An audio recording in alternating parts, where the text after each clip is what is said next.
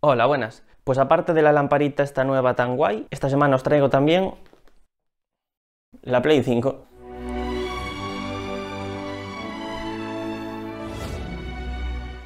Enorme, no me cabe casi ni en la mesa. Pues como os dije en el vídeo de la Xbox, de estas nuevas consolas hay muy poco stock y especialmente de la Play 5 me costó muchísimo hacerme con una. Pero bueno, gracias al grupo de Telegram que os dejé en el otro vídeo, que os lo dejaré por ahí, gracias a ese grupo pude enterarme de que la tenían en MediaMark, entrar rápidamente y coger una. Así que nada, voy a ir abriéndola y vamos viendo un poquito qué es lo que trae. Que por cierto, me llegó ya hace un par de días y la verdad es que debería haberla abierto ya, porque pasa una cosa curiosa con las Play 5 y es que se están reportando casos de gente a la cual le llega la caja y por el camino alguien la abrió, le dio el cambiazo y a la persona le llega una caja llena de piedras. Entonces, esto pesa bastante, pero espero que no sean piedras, por menos que sea un ladrillo. Pues mientras la voy abriendo os voy comentando que yo normalmente suelo esperar un año, una cosa así, desde que salen las nuevas consolas antes de comprarlas, ya que sí, normalmente si tienen fallos de fábrica o así, pues después del primer año suelen corregirlos, pero claro, este año con el canal y tal tampoco podía esperar mucho más. También es una putada porque yo normalmente me compro una de las dos consolas, que normalmente solía ser la Play. Tuve la Play 2, la 3, la 4 y la generación pasada fue donde empecé a probar las Xbox también. La verdad es que me jode mogollón tener las dos consolas cuando comparten el 99% del catálogo y las únicas diferencias pues son los exclusivos. En este caso, antes de abrirla, ya estoy prácticamente seguro de que los materiales van a ser mejores en la Xbox, de que es más potente la Xbox, porque es que es así, de que tiene mejores servicios como el Game Pass, pero si quieres jugar al nuevo God of War o al Horizon Zero Dawn, Spider-Man o juegos así, pues o te compras la Play o estás jodido. Bueno, aquí en la caja trae las características principales. A destacar, pues que es muy rápida por el disco SSD. Luego como la Xbox, que puedes jugar a 4K, 120 frames y ese tipo de cosas. Bueno, la caja ya puedo decir que es bastante, bastante más fea que la de la Xbox. Pero fea, fea, ahora lo veréis. Aquí el manual de garantía, guía de inicio rápido, esto nadie se lo lee. Joder, qué cutre, tío. Si algo tiene Sony es que son cutres, no, lo siguiente. ¿Pero qué es esto? Bueno, este es el cable de alimentación. Madre mía, qué cosa más fea. De hecho, hasta empiezo a dudar que esta consola no tenga los precintos originales, porque me parece demasiado feo esto. Esto de los cables así de este color, qué raro. Tenía entendido que el HDMI de la Play no ponía nada de high speed ni nada, pero este sí que lo pone. Esta es la base. De verdad, ¿qué materiales son estos? El USB-C del mando y ta ta ta ta ta tan el mando. Estoy seguro de que ya lo sabéis, pero todo el mundo habla de este mando porque tiene una vibración loquísima. Para empezar, tiene un motor áptico que las vibraciones que produce pueden ser diferentes según el material sobre el que estés caminando y así. Es decir, si caminas sobre el césped, pues puede vibrar de una forma, si es metal de otra, en fin, montón de cosas. Y eso me muero de ganas de probarlo. Me gusta más el analógico aquí arriba, como el de la Xbox, pero se siente cómodo. Los botones me gustan bastante. Y la cruceta, bien, sin más. Se supone que este es el de Start de toda la vida y este debe ser el de compartir o algo así. Luego por aquí está la salida de los cascos, el botón de PlayStation este que ahora es para encender el mando, un pequeño altavoz que trae aquí, no sé si se verá, trae aquí un pequeño micro para tener conversaciones con tus amigos y tal sin tener que enchufar el micrófono. Luego por detrás, pues la pijadita esta que decían de que el mando tiene las formas de PlayStation. A ver si lo conseguís ver. Buah, no creo ni que se vea. Pero vamos, que sí, que son mini símbolos de PlayStation. O sea, la cruz, el cuadrado y todo eso, pero súper, súper diminutos. Casi no tienen tacto rugoso ni nada. Nah, una pijadita. Ah, y que se me pasó. Y la otra novedad del mando son los gatillos adaptativos, que básicamente consisten en que cuando el juego quiera puede hacer que este botón pues esté más duro más blando. Esto si lo usan bien puede estar guay. Por ejemplo, en un juego de disparos, pues si vas a disparar y te quedaste sin munición, al darle aquí, que no te baje el botón, ya que no tendrías balas. Eso está guay. A ver qué tal funciona. Ah, bueno, y el panel táctil, que parece un poco diferente al anterior. Más grande, creo. Por ahora me está dejando bastante frío, ya que los materiales no me parecen muy allá. Pero bueno, a ver qué tal la consola. Es que esto es una cutrada, no me digáis que no. Si recordáis el vídeo de la Xbox y lo súper bien empaquetada que venía, no me comparéis con esto. A ver, no quiero ser súper negativo, ya que al final estas cosas no importan mucho. Pero bueno, son cosas que hay que decir. Así que no me llaméis hater.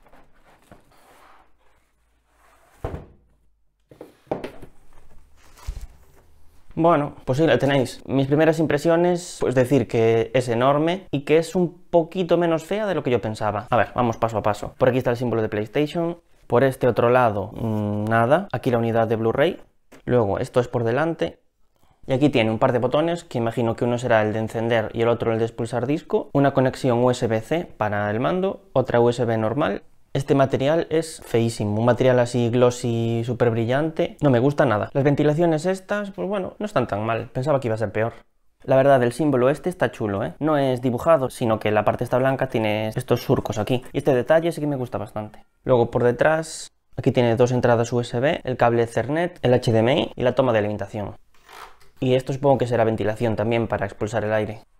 Pues eso, las primeras impresiones son que es muy grande, pero un poco menos quizás de lo que yo pensaba, ya que pensaba que iba a ser enorme, pero no lo es tanto. Los materiales... Eh, el embalaje mal, muy mal diría. El mando bastante bien, parece cómodo y tal. Me gusta más que el de la Play 4, pero este material negro de por aquí no me da muy buenas sensaciones. Por cierto, se están reportando ya fallos de estos mandos. Los analógicos estos, la parte de dentro es la misma que la de la Play 4 y a mucha gente le están dando los mismos errores que daban en la Play 4, que es lo del drift. Eso significa que a veces el analógico funciona mal, o se queda pillado, o tú dejas el mando quieto y el personaje sigue moviéndose, lo que sea. Por ahora hay garantía, pero si empieza a fallar tan pronto, mal vamos. Por cierto, mencionar que esta es la versión física, ya que la versión digital me parece tirar el dinero. ¿Por qué?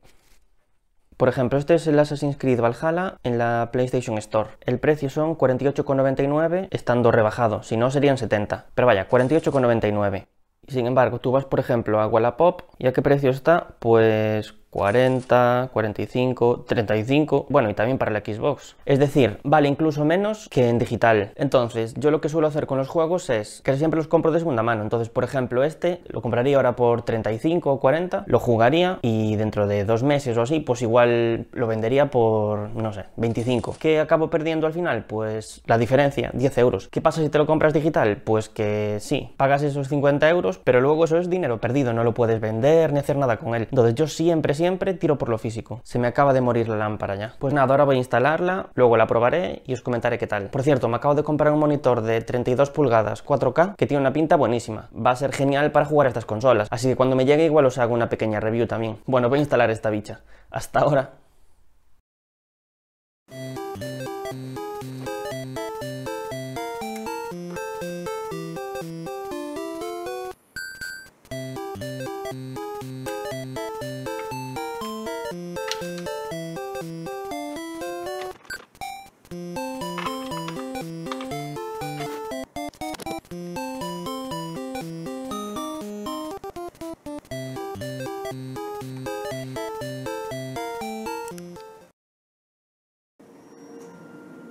Conecta el mando a la consola mediante un cable USB y pulsa el botón PS.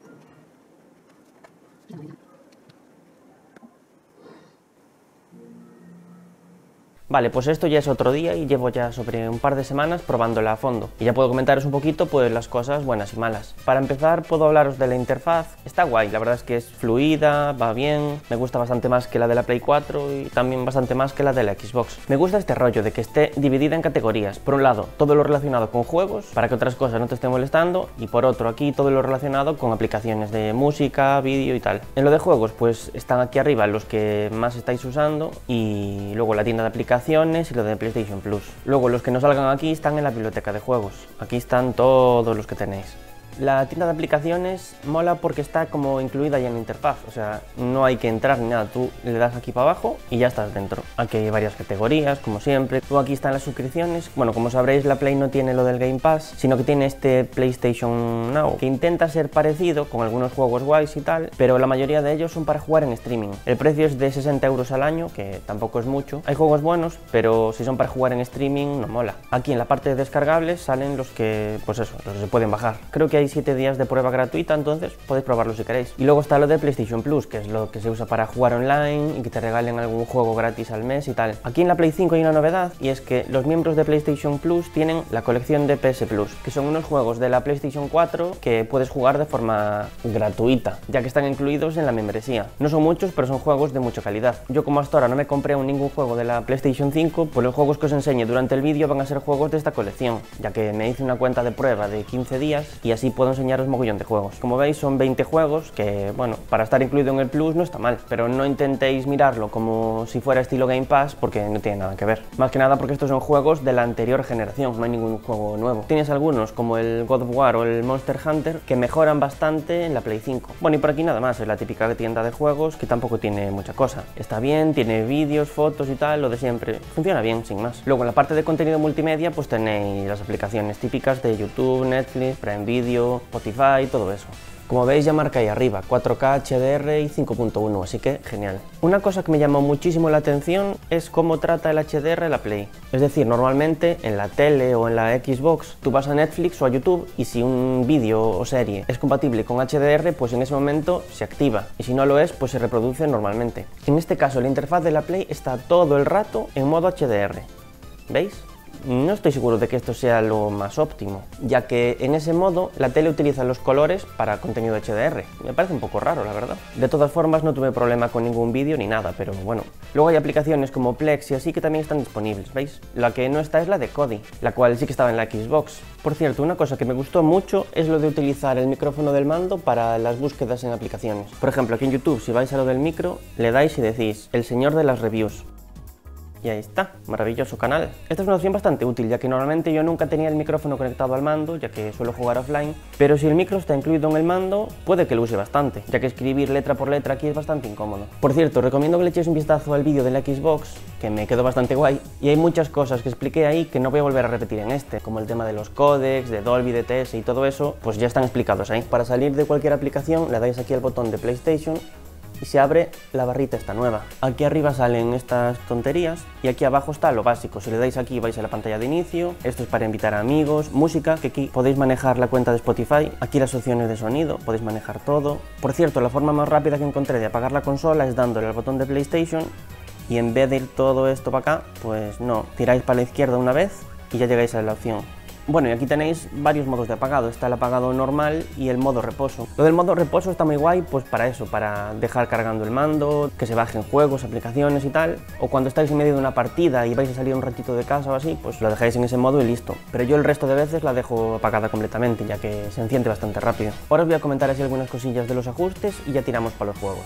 En sistema, deciros que aquí en lo del HDMI, si vais a usar capturadora o así, tenéis que desactivar esto de HDCP, ya que esto es una cosa que se utiliza para servicios como Netflix y tal, para que no puedas grabar las pelis así directamente. Luego lo del almacenamiento, la verdad es que es bastante, bastante vergonzoso que solo traiga 667 gigas. Se me hace poquísimo y como veis, yo tengo bastante llena la memoria y tampoco tengo tantas cosas instaladas. Pero bueno, teniendo una buena fibra y tal como tengo yo, pues vais instalando y desinstalando y no tendréis problemas, ya que a ver, tampoco necesitas 20 juegos instalados a la vez. Borras, instalas y listo. Para los juegos compatibles de la Play 4 tenéis esto del almacenamiento ampliado, que sirve para juegos retrocompatibles. Los de la Play 5 no, tienen que estar en la memoria principal. Por cierto, también podéis meter las capturas y tal en el disco duro externo. Aquí en sonido, pues como veis yo tengo marcado aquí que el dispositivo de salida es HDMI, un amplificador. Eso es porque tengo la Play conectada al 5.1 ese que tenéis por ahí y del 5.1 a la tele. Si fuera directamente la tele, pues aquí marcaríais TV y listo. Luego aquí ponéis si es estéreo, 5.1 o lo que sea. Incluso podéis ajustar, que esto me gusta bastante, la posición de los altavoces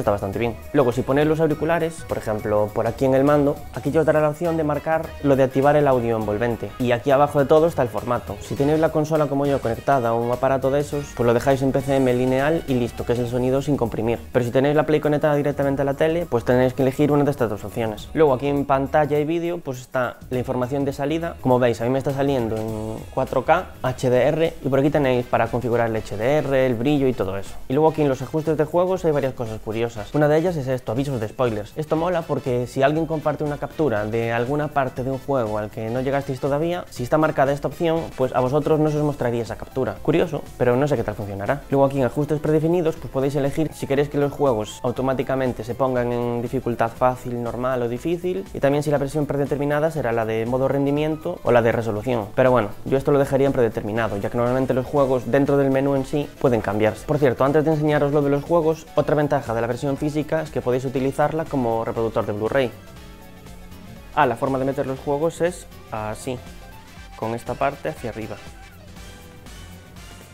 Como veis aparece aquí la aplicación de reproductor de disco, le dais y empieza a cargar. Justamente la peli Interestelar tiene un fallo tanto en la Xbox como en la Play. Si queréis reproducir esta peli en 4K y no funciona, pues en el otro vídeo, el de la Xbox, tenéis cómo se soluciona. Con las pelis normales no hace mucho ruido, pero cuando ponéis la versión 4K se revoluciona como un cabrón. Y por cierto, hablando de ruidos y tal, tengo que comentaros que esta consola sufre del coil whine, que es un ruido eléctrico que hacen algunos dispositivos, pero que en esta consola hace bastante, bastante más ruido que los demás. Vale, os voy a enseñar un poquito cómo es el ruido que hace la Play.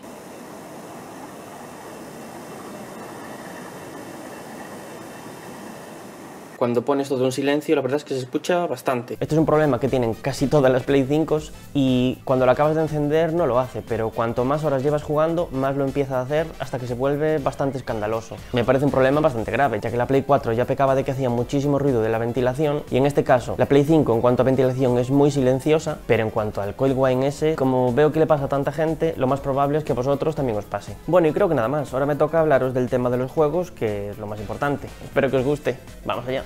Vale, pues ahora toca lo divertido. Para empezar, sabéis que la Play viene con el Astros Playroom, que es una especie de minijuego para demostrar las funciones nuevas del mando. El juego no está mal, es muy colorido y se hace entretenido, con unos cuantos secretos y coleccionables, pero tampoco es para darle tanto bombo como vi por ahí, no me jodáis. Como decía, en este juego se puede ver el potencial de los gatillos adaptativos y la vibración áptica. En primer lugar, la vibración. Igual es por haber escuchado a tanta gente ponerla por las nubes y que ya me esperaba demasiado, pero me dejó un poco decepcionado. Es cierto que mola mucho y que cuando empiezas a jugar pues notas que cuando pillas una moneda vibra de una forma, cuando caminas por el metal de otra, la hierba, el cristal, el agua, pero después de estar un cuanto tiempo jugando me di cuenta de una cosa, y es que en realidad no hay tantas vibraciones diferentes. Por ejemplo, en el metal sí que la vibración era completamente diferente, como si tiraras de una cadena o algo así. No sé explicarlo bien, pero molaba mucho. Sin embargo, en el resto de materiales lo sientes diferente solo porque cambia el sonido que sale del mando. Entonces, claro, si sale como un sonido de agua cuando vas buceando, pues hace que te metas más en la situación. A ver, no es que esté mal eso, de hecho está guay, pero ya no es esa vibración tan loca como escuché por ahí. Al final la gente se flipa mucho. Lo que sí me gustó más fueron los gatillos adaptativos. Eso sí que no engaña, cuando el juego quiere te bloquea el botón y está mucho más duro que normalmente. Por ejemplo, en la parte esta del mono tienes que apretar el gatillo con mucha suavidad para no romper los puntos de apoyo de la pared también para disparar flechas con el arco y cosas así. Al final no tenía mucho interés en probar esto y me acabó gustando más que la vibración. Hay otro juego que también aprovecha mucho esto y es el Control. Al usarlo para disparar te ofrece esa resistencia que da la sensación de que estés apretando tú el gatillo de la pistola. Sin embargo, aquí lo de la vibración ya no se usa tanto. Simplemente los pasos del personaje vibran en el mando y listo, no lo veo nada especial. Por cierto, aquí ya podéis ver qué tal lucen los juegos que tienen parche Next Gen. Al igual que en la Series X, lo normal es que traigan dos modos a elegir. Con el modo de Ray Tracing se ve bonito, pero va a 30 fotogramas por segundo. Y con el otro se mueve a 60 FPS, que va súper fluido. Para mí no hay discusión, siempre que me hagan elegir entre estas dos cosas me quedaré con los FPS, ya que una vez que te acostumbras a jugar así, cuando bajas a 30 hay juegos que incluso marean. Por cierto, la consola abre los juegos muy rápido. En el control, desde que le das al botón de abrir el juego hasta que te carga la partida completamente, tarda 20 segundos justos. De hecho es curioso, porque en algunos juegos en los que salen consejos o así durante las pantallas de carga, pues a veces aparecen y duran 0, no te da tiempo ni empezar a leerlos. Así que la consola en general va en la llama. Aunque si tengo que compararla con la Series X, pues no me parece más rápida, pese a que el SSD en teoría sea mejor. En apertura y carga de juegos, yo creo que tarda justo lo mismo. Eso sí, la Series X tiene lo del Quick Resume, con lo que puedes dejar varios juegos congelados en segundo plano y cambiar entre ellos en 5 segundos, y eso la Play no lo tiene. Aquí, para cambiar de juego, sí o sí, se va a cerrar el anterior aunque si es para abrir una aplicación multimedia sí te mantiene el juego abierto. Por ejemplo, YouTube, Netflix y así.